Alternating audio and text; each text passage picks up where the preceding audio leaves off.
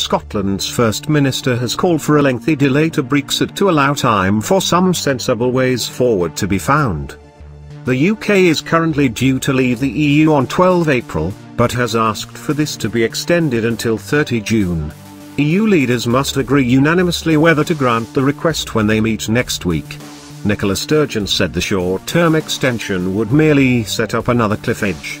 Prime Minister Theresa May made her extension request in a letter to the EU after her proposed Brexit deal suffered three defeats in the House of Commons in recent weeks. She has proposed that if a deal is approved in time, the UK should be able to leave before European parliamentary elections on 23 May.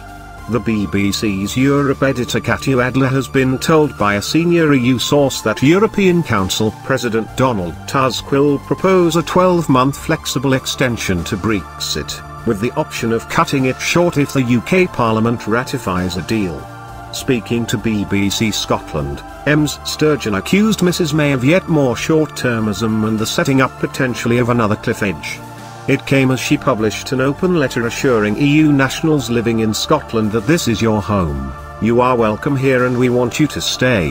The First Minister said, the sensible thing to do in my view, and it seems as if this might be the EU's view as well, is to have a longer extension to allow time for this issue to go back to the people in another referendum rather than continue to have these short-term cliff edges.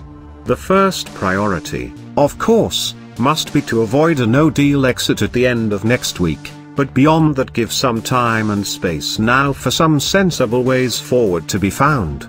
Ms Sturgeon also said she believed it was now more likely than not that the UK will hold European elections in May, which she predicted would give some protection against a no-deal Brexit.